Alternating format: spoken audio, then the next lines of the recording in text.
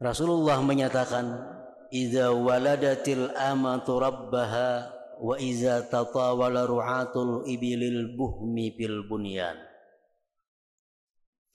Tanda kiamat itu kata Rasulullah apabila seorang perempuan melahirkan raja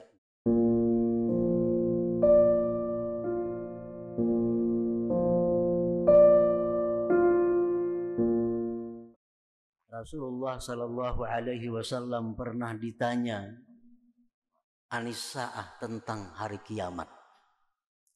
Dengan pertanyaan mata sa'ah kapan hari kiamat itu wahai Rasulullah? Rasulullah menjawab mal mas'ulu anha bi'a'lama minas sa'il. Orang yang kau tanya sama dengan yang bertanya. Sama-sama kada tahu artinya. Apabila mestinya persisnya hari kiamat itu terjadi. An dan aku hanya bisa mengabarkan kepada engkau tanda-tanda menjelang hari kiamat itu. Rasulullah menyatakan, "Idza waladatil amatu rabbaha wa iza tatawala ru'atul ibilil buhmi fil bunyan Tanda kiamat itu kata Rasulullah apabila seorang perempuan melahirkan rajanya. Bila seorang wanita melahirkan tuannya. Maksudnya adalah di akhir zaman itu anak-anak durhaka kepada orang tuanya. Sehingga orang tua yang melahirkan itu seolah-olah rakyat oleh si anak itu. Seorang perempuan melahirkan rajanya. Anak nang jadi raja, witan jadi budak, jadi hamba sahaya. Artinya di akhir zaman menjelang hari kiamat itu kata Rasulullah, anak tidak segan lagi memerintahkan kepada orang tuanya untuk berbuat melakukan sesuatu. Orang tua dijadikan pembantu, orang tua dijadikan budak, pelayan bagi anaknya. Ini yang dimaksud dengan idza waladatil amatu rabbah. Bila sudah demikian, itu berarti kiamat itu sudah dekat. Yang kedua kata Rasulullah tandanya wa iza tatawala ru'atul ibilil buhmi fil bunyan. Apabila orang-orang desa, orang-orang dusun sudah berlumba-lumba untuk bermegah-megah membangun rumah, membangun bangunan. Rumah-rumah mewah sudah banyak di kampung-kampung. Rumah-rumah yang bagus sudah menjadi merata di perkampungan. Orang kampung, orang dusun berlumba-lumba membangun rumah yang mewah. Itu pun akan terjadi kata Rasulullah menjelang hari kiamat. Wa fi riwayatin ukhra an asyratiha dan dalam riwayat yang lain Rasulullah sallallahu alaihi wasallam menyebutkan menjelaskan tentang keadaan manusia atau keadaan masa sebelum hari kiamat terjadi. Antara lain selain daripada yang dua tersebut tadi kata Rasulullah yang artinya zuhurul fajiri alal munsifi menangnya orang yang jahat atas orang yang baik. Menangnya orang yang fasik atas orang yang adil. Atas orang yang saleh. Menangnya orang yang zalim atas orang yang adil. Orang yang baik selalu dalam posisi kalah. Orang yang jahat selalu dalam keadaan menang. Contohnya umpamanya pemilihan pembakal kepala desa. Supaya mengerti calon pembakalnya ada nang ada penyembah yang orangnya pemabuk calonnya ini penjudi. Nang saya kong calonnya penyembah yang orangnya saleh orangnya penuntut ilmu. Karena sampai harinya pemilihan pembakal kalah tuh nang salehnya tuh Nah ini mana di kampung-kampung mana-mana aja kayaknya hingga orang nang macam itu nang manan bila nang baik hingga kalah. Ini menjelang kiamat.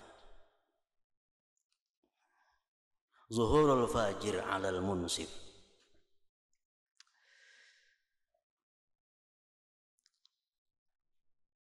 Kaunul amanati wa kaunul amanati magnama kata Rasulullah lagi menjelang hari kiamat itu keadaan amanah itu dianggap satu keberuntungan. Amanat dianggap satu keberhasilan dianggap satu keuntungan. Orang diberi amanah orang dititipi sesuatu dianggap dia untung Misalnya kita diandaki orang, jurang lah empat mandak na sepeda motor aku nak keluar, aku nak berjalan empat mandak lah aku sepeda motor. Merasa untung diandaki orang sepeda motor itu. Padahal ini adalah amanah. Mestinya diandaki amanah itu waspada dan hati-hati. Agar jangan sampai menyalahkan amanat yang dititipkan oleh orang itu. Kedudukan, pangkat, jabatan itu amanah. Begitu naik pangkat, dia gembira, menganggap ini keberhasilan, keberuntungan, untungnya naik pangkat. Ini manusia-manusia yang hidupnya menjelang hari kiamat. Wa kaunul amanah magnama. Keadaan amanat itu dianggap satu kemenangan, satu keberuntungan. Beliau menjelaskan lagi tentang tanda-tanda kiamat itu wasultanun nisa. Raja-raja sudah mulai ada perempuan-perempuan yang jadi raja. Kepala desa sudah ada bini-bini, kayaknya camat ada bini-bini, bupati ada bini-bini, gubernur ada bini-bini, presiden ada bini-bini. Semuaan bini-bini kayaknya. Wasultanun nisa.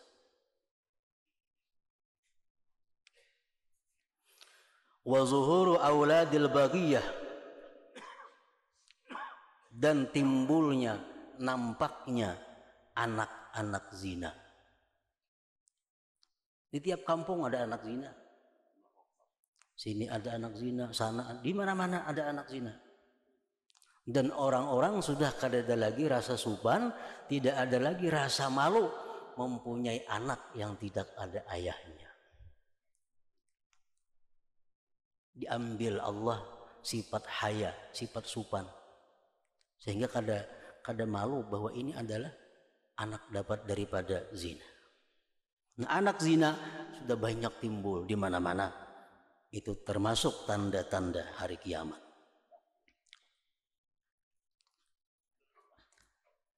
Wa fusul ainah tersebarnya kelakuan atau praktik ribawi riba. Mulai di perkutaan sampai di paling dusun sudah masuk riba. Dulu orang kampung dusun kadang mengenal riba. Mau tangi duit lillahi ta'ala mau tangi maniru gaya orang kota orang kampung umpati bila berhutang seribu bayar dua ribu. Nah pusul aina. Di mana-mana sudah merata riba itu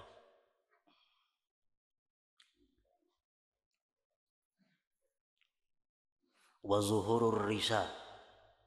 Timbulnya di mana-mana risa suguk atau pungli.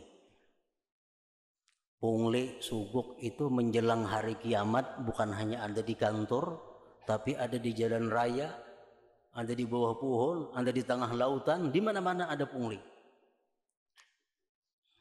Itu kata Rasulullah adalah asyratus sa'ah tanda-tanda kehancuran ini dunia tanda-tanda menjelang hari kiamat.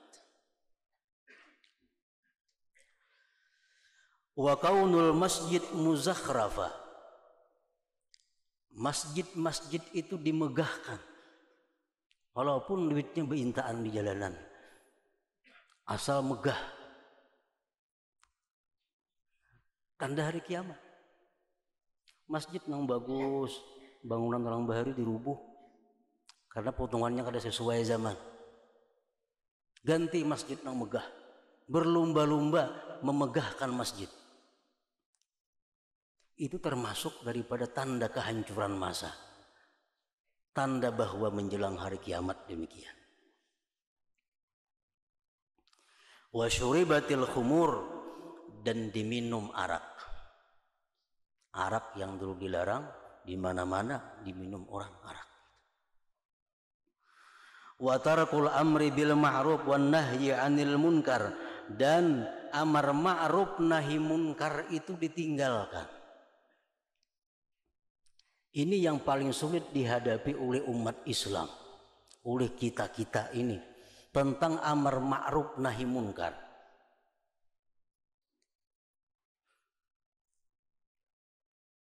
Kita melihat banyak kejadian-kejadian yang cukup menyedihkan kita antara lain umpamanya orang-orang tidak mau melakukan amar ma'ruf nahi munkar hanya dengan alasan adalah itu hak asasi dia sebagai manusia.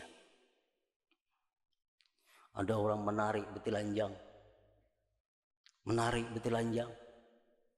Ada yang menagur itu kada boleh. Oh jangan ditagur. Itu hak asasinya sebagai pemain senior umpamanya. Nah, ini tanda-tanda hari kiamat. Ada aliran-aliran yang sesat. Ditagur, jangan ditagur. Karena itu hak kebebasan mereka untuk berkeyakinan dan beragama. Nah, jadi kada ada lagi amar ma'ruf nahi terserah manusia, anak jadi kambing, anak jadi sapi, mau apa?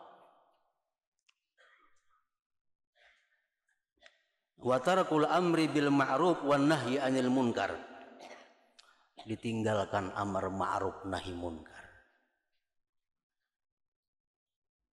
wa tijarah kata Rasulullah lagi tanda-tanda akhir masa tanda-tanda menjelang kiamat itu adalah tersebarnya perdagangan di mana-mana di mana ada tempat ada pasar Di kampung-kampung ada pasar sejumput, sini ada pasar. Dulunya kan ada pasar, ada pasar. Wa busawut tijarah. Di mana ada kesempatan, ada pasar.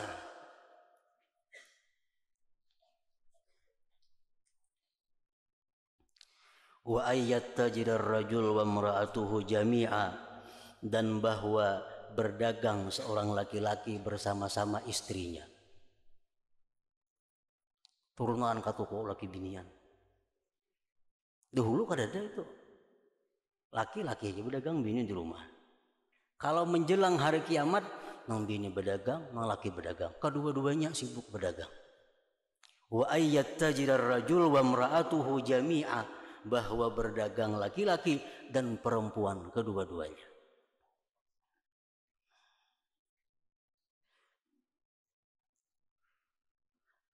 Nah, para muhibbin rahimakumullah. Itu sebagian daripada tanda-tanda dari sekian banyak lagi tanda-tanda yang menunjukkan kerusakan zaman yang artinya bahwa kiamat itu sudah dekat.